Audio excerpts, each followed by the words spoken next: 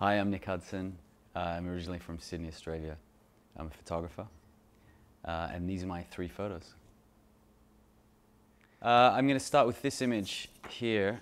Uh, I shot on Polaroid. Uh, actually, I shot two frames. This is the second frame. And this was a really important moment for me because I was really struck by how the medium um, can bring something to the process and to the image that um, is it's, it's just a really important, uh, one of the really important choices you have to make. So it's obviously what you're taking a picture of, uh, the setting, and what you're using to shoot it with. So um, this was a model who came to my studio. Uh, we took a couple of, we took two frames, they're the frames, and it really pushed me back into shooting analog, uh, which is where I started many years ago. So I pulled out my old cameras. This was about 2012, 2013 and I didn't look back from that point. To me, these images are meaningful because just on their face value, I still find them to be really images I'm proud of, but on a symbolic level, that was the moment where I decided to invest heavily in Polaroid, medium format film, 35mm film, and even other formats such as 4x5 and 8x10.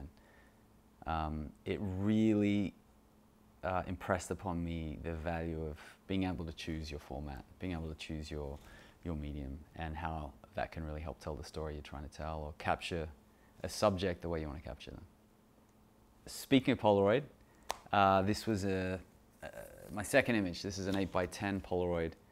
Uh, this is a really, uh, it's a really interesting format because it's very slow.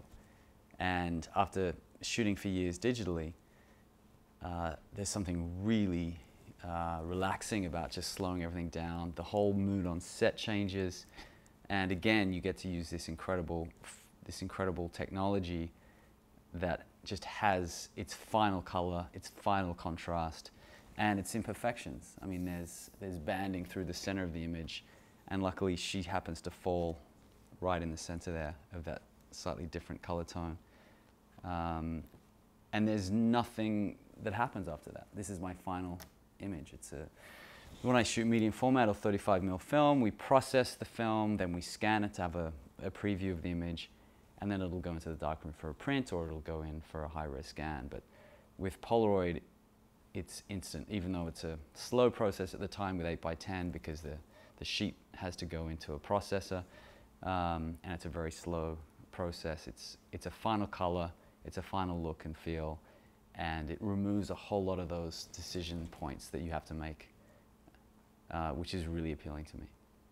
So one of the things I'm really enjoying is slowing everything down, and I think that at the moment with social media, we're consuming images at, a, at such a fast pace. We've got a voracious appetite, and um, in a way, it feels like the image has become more disposable. Uh, so when you take more time creating an image and utilizing different technologies, um, one of my cameras is 70 years old, and I use the, the tripod that was bought with that camera 70 years ago in New York on Lexington Avenue. Um, it feels like I'm connecting to something at a time where the image, the still image is, is, is valued and something people would spend time with the image rather than scrolling past it and a million other images in that day. Um, so there's something else that reveals itself in the image when you spend time with it. Um, and that's why I think prints are incredible, and it's, this is a photograph. Um, a digital image is a digital, image, and you can create incredible prints from digital images, and all of these technologies that we have available are all incredible. Um, but I, they're just sort of paintbrushes in your toolbox, and um, you know, the, the, the, the more accessible I think uh, photography is, filmmaking is, the more interesting it is for me to delve into things that less and less people are doing. And um, to not rely on post-production to get a look and feel or um, to actually delve into the materiality. So certain film stocks have certain characteristics and the way you rate your film, the way you process the film, the way you then print your film or scan your film, um, all have an impact, an impact. They all have an impact um, on, on how your image ends up looking here's an image that I printed in the darkroom myself, complete with light leak um, from a bad film back, I think it is. Um, so again, it's, it's just slowing everything down and to get a somewhat decent color print in a dark room takes a little bit of time and patience and you got to make a lot of mistakes before you get to something that you find reasonably decent. Um, and this was a really lovely day working with friends, um, shooting at my friend's house uh, for a brand that I really believe in philosophically and I love supporting my friends and when I get a chance to, to help create images for them and their brand, it, it adds a hell of a lot more meaning to the process for me and the outcome. Um, but again, to be able to shoot on medium format film and then take that negative into the lab and make a print and see it come out differently to how it did when it was a scan from the, a previous scan from the, from the film lab. It's really a rewarding experience. Um, so you get a certain blue or a certain um, skin tone that, that you know you maybe haven't seen before, and it's it's exciting. And I love mistakes, and obviously that this frame the whole top part of it is a mistake, um, but I think it adds a little bit of um, charm to the image. I don't know, I'm very drawn. I'm very, very, ob obviously you can see this, these images have a lot of mistakes in them and um, I think mistakes are a really important part of the creative process. This is a print that I didn't make. Um, this was from a Vogue Russia story we shot in Paris. I think it was August last year. So obviously the previous print I showed you, I printed myself. This was printed by far better printer than me. Um, I have a guy in London who's been printing for decades and he's a master printer. Um, so when I can, I send my negatives to him to print in the darkroom and then he'll scan the images and send them to me. Um, and I love being able to work with other people who are really good at what they do. And that's what makes that's what elevates, I think, my experience and, and the outcome. Um, and it's, it's really like cooking. If you have really good ingredients, uh, you don't have to do a lot.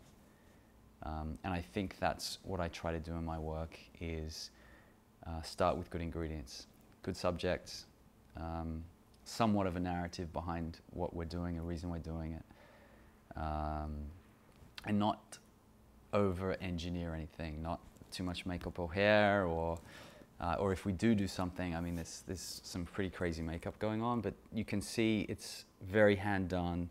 The, there's not really any retouching there to speak of. Um, and uh, I think, yeah, it's the simplicity for me that I'm really drawn to in life, in design, in architecture, um, in art, in photography. And um, I love using daylight, and when I can't use daylight, I fake it. I try to replicate daylight as much as I can.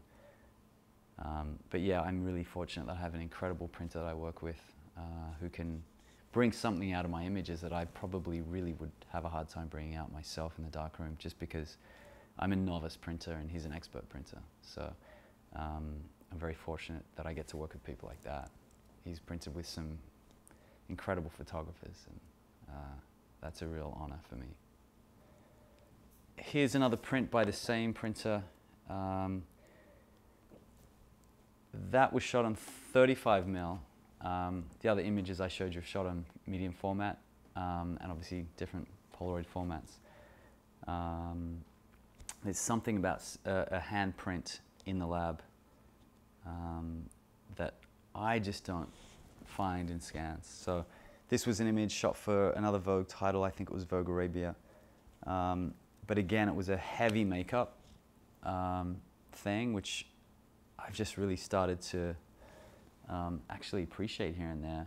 Um, I was such a um, advocate for, you know, not for seeing the girl and letting her come through, but in this case, we created more of a character, and I think it really worked. And it opened my eyes to shifting and changing and being being able to kind of embrace a different approach, um, which was really rewarding. Actually, this was a funny day. We there were three photographers shooting in the same studio for the same magazine with the same stylist, the same set designer and creative director. And I think I had about two, maybe three hours to shoot uh, the entire story. So uh, I don't know, I love limitations actually. And that was a really good example of having a very minimal amount of time, but we had a great team, so we got a really great result. Uh, so this is my biggest print. Uh, I shot this in Biarritz a few years ago. It's a really simple, minimalistic print that appeals to me because there's almost nothing in the frame.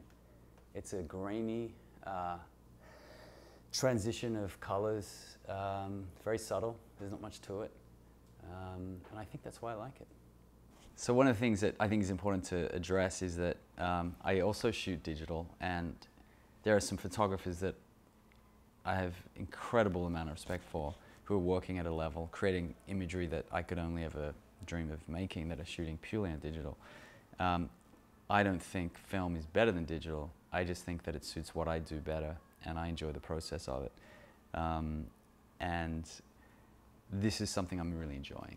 And I think it's because it feels more tangible. And one of the beautiful things about photography is that you can go to work and collaborate with people, often people you, you really admire and respect and that you like and you have a nice experience. And at the end of the day, you have something tangible to show for it, for your day's work. And um, when you end up making prints, uh, it makes it even more special. It takes it to another place. Rather than handing off a hard drive or sending files, um, at the end of it, it's nice to uh, have a finished product. Uh, and I think that's one of the very fortunate things about photography. Uh, it's, it's, you know, if, if, you're an architect, it can take years to see something become manifest that's been in your mind, and obviously that would be an incredibly rewarding thing. But um, you can just spend one day and have an incredible amount of um, finished products that, that you can feel really good about.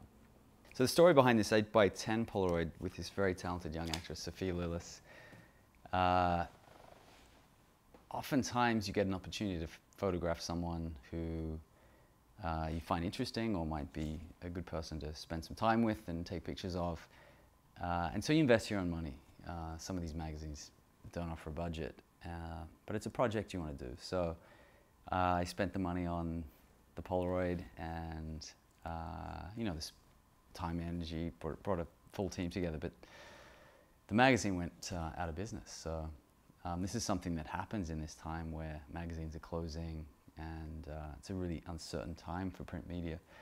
Um, but I really don't have any regrets about doing the shoot because um, you know we had a great day and we, we got some great images. Um, Sophia came along with her mother. She was 16, incredibly shy, but the moment a camera is on her, she just has a presence about her. It was really extraordinary. She was just seemed like a normal, shy 16-year-old kid who would be really tough. But the moment she was there, she was just incredible. That's one of the fascinating things I think about some of these subjects is it's often the people you least expect that have the presence on screen or on camera.